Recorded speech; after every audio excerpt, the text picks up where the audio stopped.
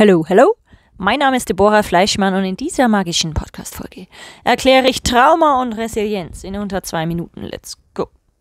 Trauma bedeutet, Opfer zu werden von beispielsweise psychischer Gewalt, physischer Gewalt, sexueller Gewalt, struktureller Gewalt, eines Schicksalsschlags, eines Unfalls, letztlich eines Ereignisses, das außerhalb der eigenen Kontrolle liegt. Und es ist wie eine Schallplatte, die sich immer wieder abspult und immer wieder hängen bleibt an diesem Riss und deswegen nicht vorankommt. Das Musikstück wird nicht durchgehend gespielt, sondern es fängt an einer bestimmten Stelle immer wieder an zu quietschen, immer wieder an zu ruckeln und der Zuhörer weiß nicht, was er machen soll, was er ändern kann.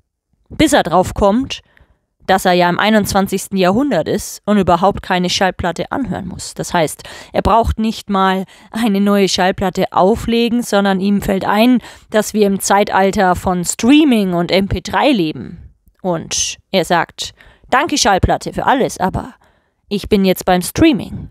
Ich bin jetzt wieder online.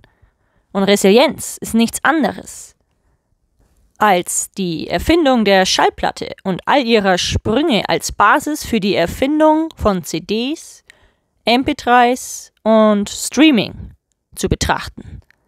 Resilienz ist wie der Gitarrenspieler, der sich erst die Hände blutig spielt und dann so eine krasse Hornhaut an den Fingern hat, dass diese Finger von allein spielen. Er muss nicht einmal mehr nachdenken, alles ist im Flow.